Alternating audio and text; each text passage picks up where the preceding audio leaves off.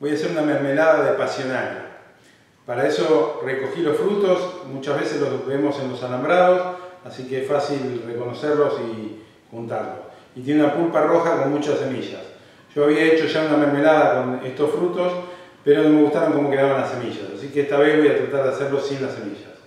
Ahora voy a ir juntando la pulpa, para eso las corto al medio.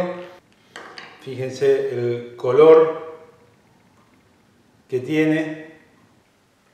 Logré rescatar 150 gramos de pulpa. La voy a tamizar, le voy a agregar 50 gramos de azúcar y después la voy a cocinar hasta que se espese.